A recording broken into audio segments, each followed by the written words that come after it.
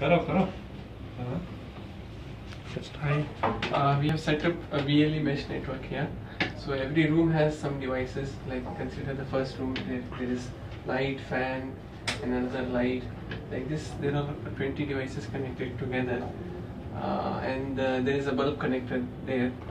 So we'll just uh, quickly show you the demo. Uh, we have an android app ready. This is connected to one of the BLE devices in the node.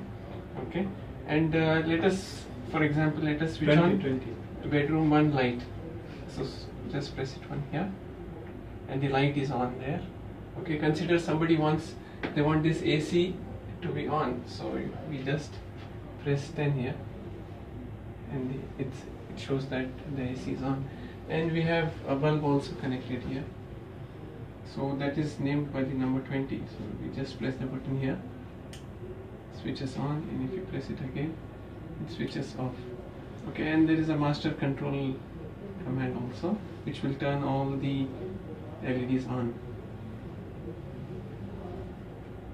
So one, two, three, and this is four, five, six, and so on.